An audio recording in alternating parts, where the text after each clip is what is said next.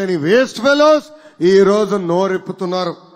ఒక నెల్లూరు టౌన్లో పదిహేడు వేల టిట్కో ఇల్లు కట్టాం. నెల్లూరు బ్యారేజ్ని తొంభై శాతం పూర్తి చేశాం. సంగం బ్యారేజ్ని డెబ్బై శాతం పూర్తి చేశాం. ఎస్ఎస్ కెనాల్ పనులు ప్రారంభించాం. ఇట్లా చెప్పుకుంటా పోతే ఒక రోజంతా పడుతుంది. కోఆపరేషన్ జాయింట్ ఫార్మింగ్ సొసైటీ ఆధ్వర్యంలో ఉన్న డెబ్బై వేల ఎకరాలు ఏకంగా రైతులకి పట్టాగొడిచ్చింది ఈ తెలుగుదేశం ప్రభుత్వం. పెద్దలు సోమిరెడ్డి చంద్రమోహన్ రెడ్డి గారు చెప్పినట్లు ఆనాడు విశ్వవిఖ్యాత నట సార్వభౌమ స్వర్గశ్రీ నందమూరి తారక రామారావు గారు తెలుగు గంగ ప్రాజెక్ట్ నెల్లూరు జిల్లా కోసం తీసుకొచ్చారు. రెండు లక్షల ముప్పై వేల ఎకరాలకి ఆయకట్టుకి సాగునీరు ఇవ్వాల్సి ఉంది కానీ కేవలం ఒక లక్ష ఎకరాలకే ఆనాడు సాగునీరు ఇచ్చే పరిస్థితి. దానికి కారణం అటవీ శాఖ నుంచి కొన్ని అనుమతులు రాలా. అందుకే తెలుగుదేశం పార్టీ అధికారులు ఉన్నప్పుడు కేంద్ర ప్రభుత్వంతో పోరాడి అటవీ శాఖ ద్వారా అవసరమైన పర్మిషన్ తీసుకొచ్చి మిగిలిన లక్ష ముప్పై వేల ఎకరాల ఆయకట్కి సాగునీరు అందించిన ఘనత ఒక తెలుగుదేశం పార్టీది. అంతేకాదు Gamesa Hero Apollo tyres THK Berger paints Thermax Flextronics లాంటి డెబ్బై మూడు కంపెనీలు తీసుకొచ్చి ముప్పై రెండు వేల ఎనిమిది వందల పన్నెండు మ- మందికి ఉద్యోగాలు కూడా కల్పించింది ఈ తెలుగుదేశం ప్రభుత్వం. ఇంకా వైకాపా ప్రభుత్వం ఎన్ని కంపెనీలు తీసుకొచ్చింది? ఎన్ని తీసుకొచ్చింది? సున్నా. సున్నా. రెండు వేల పంతొమ్మిదిలో ఉమ్మడి నెల్లూరు వైకాపాకి పదికి పది సీట్లు ఇచ్చారు. కానీ నెల్లూరు జిల్లాకి వైకాపా నేతలు చేసింది సున్నా. ఏకంగా నెల్లూరు జిల్లాని land sand wine mine betting గంజాయి మాఫియాకి అడ్డగా మార్చేశారు. మూడు ఒకటి కాదు రెండు కాదు మూడు కీలకమైన పోస్టులు నెల్లూరు జిల్లాకి సైకో జగన్ ఇచ్చారు. దాంట్లో మొదటిది హాఫ్ నాలెడ్జ్ వ్యక్తికి ఇరిగేషన్ మంత్రిగా ఇచ్చారు. పోలవరంకి బుల్లెట్ దింపుతాడు జగనే ఆయనకి బుల్లెట్ దింపాడు. పిల్ల కాలువ పిల్ల కాలువ తవ్వలేని వ్యక్తి ఈ సిల్లి బచ్చా ఇరవై ఐదు వేల కిలోమీటర్లు సీసీ రోడ్ వేసిన నన్ను ప్రశ్నిస్తాడంట. అయినా పర్వాలేదు. ఈ సిల్లి బచ్చాకి చెప్తున్నా టైం అండ్ డేట్ను మీరు నిర్ణయించండి. వెన్యూ మీరు నిర్ణయించండి. చర్చకి ఈ లోకేష్ సిద్ధం. కానీ ఒక్క కండిషన్ పెడుతున్నా. ఒక్క కండిషన్ పెడుతున్నా.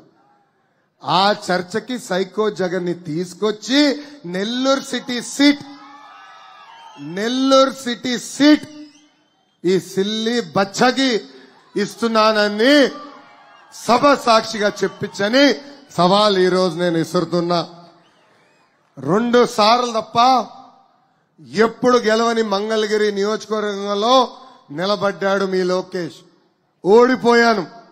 పర్వాలేదు అయినా నియోజకవర్గంలో పనిచేశా. ఈరోజు ఎప్పుడు లేని విధంగా మంగళగిరి ప్రజలకి మీ లోకేష్ సేవ చేస్తున్నాడు. ఈ సిల్లీ ఫెలోకి నేను చెప్తున్నా. ఈ సిల్లీ బచ్చాకి నేను ప్రశ్నిస్తున్నా. దమ్ము ధైర్యం ఉంటే మీ నాయకుడిని పులివెందల నుంచి బయటకు వచ్చి ఎప్పుడు గెలవని సీటులో పోటీ చేయమను. ఇంకా కోర్టు దొంగకి వ్యవసాయ శాఖ మంత్రి ఇచ్చారు. మీరు ఎన్ని కరెక్ట్ కోర్టు దొంగ ఆయన. కోర్టు దొంగ తల్లి. ఎవరినో దొంగతనం చేస్తే కోర్టుకు వెళ్తాడు ఈయన ఏకంగా కోర్టులోనే దొంగతనం చేశాడు. అలాంటి వ్యక్తికి వ్యవసాయ శాఖ మంత్రి ఇచ్చాడు ఆయన ఎనిమిది కేసుల్లో నిందితుడు. రైతుల సమస్యలు పట్టించుకోడు. కల్తీ మద్యం తయారు చేసే దాంట్లో ఎక్స్పర్ట్. కానీ కల్తీ ఇత్తనాలు ఏంటి ఏంటో తెలియదు అకాల వర్షాల వల్ల రైతులు నష్టపోతే కల్తీ మద్యం తయారీలో బిజీగా ఉన్నాడు ఈ కోర్టు దొంగ. నేను ఇక్కడున్నా రైతులందరిని అడుగుతున్నా. ఈయన వ్యవసాయ శాఖ మంత్రి అయిన తర్వాత ఏనాడైనా ఒక్క రైతు కన్నా న్యాయం చేశాడా?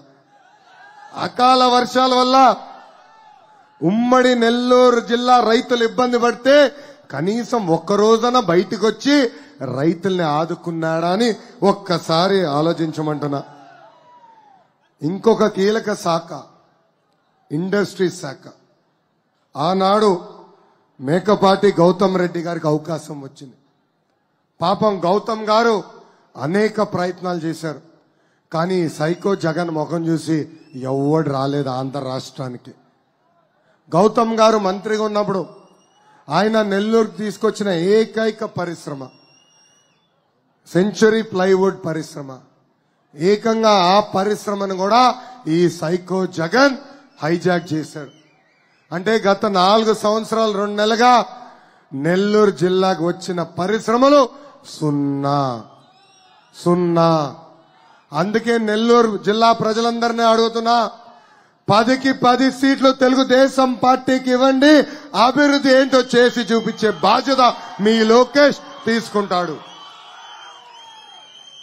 గూడూరుని గొప్పగా అభివృద్ధి చేస్తారని భారీ మెజారిటీతో వరప్రసాద్ గారిని గెలిపించారు. గూడూరుకి ఏకంగా ఆయన గుండు కొడతాం తప్ప చేసిన ఒక్క పని లేదు. ఇక్కడున్న ప్రజలను అడుగుతున్నా మీ జీవితంలో ఏమైనా మార్పు వచ్చిందా ఒక దళితుడు జీవితంలో బాగుపడిందా? లేదు. కష్టపడి వరప్రసాద్ గారిని గెలిపించిన వైకాపా కార్యకర్తలు ఆయనకి ముద్దుగా ఒక పేరు పెట్టారండి ఏం పేరు పెట్టారు? ఏం పేరు పెట్టారు? కలెక్షన్ ప్రసాద్. నేను ఏ నియోజకవర్గంకి వెళ్ళినా అక్కడ ఎమ్మెల్యే పరిస్థితి తెలుసుకుని పేరు పెడతా. కానీ ఇక్కడ నాకు అవకాశం ఇవ్వలా. వైకాపా కార్యకర్తలు నాయకులే పెట్టేశారు కలెక్షన్ ప్రసాద్ అని. ఆయన పలకరింపు సూపర్గా ఉంటుంది. అమ్మా బాగున్నావా? చిన్న కంగారు పడొద్దని చెప్తాడు. కానీ ఏ ఒక్క పని చేయడు. ఇంటికెళ్తే ఇచ్చిన హామీలని మర్చిపోతాడు. ఆయన చాలా ఓపెన్గా మాట్లాడతాడండి. ఎంపీ ఎమ్మెల్యేగా జగన్కి వందల కోట్ల ఇచ్చి నేను టికెట్ తీసుకున్నా ఇప్పుడు అవన్నీ వడ్డీతో సహా సంపాదించాలి కదా అని ఆయన అంటాడు.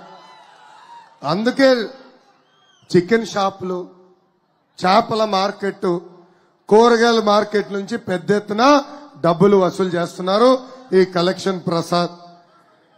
ఏకంగా గూడూరు చిలుకలూరులో గ్రావెల్ మాఫియా అంతా కలెక్షన్ ప్రసాద్ ఆయన కుమారుడు నవీన్ నడుపుతున్నారు.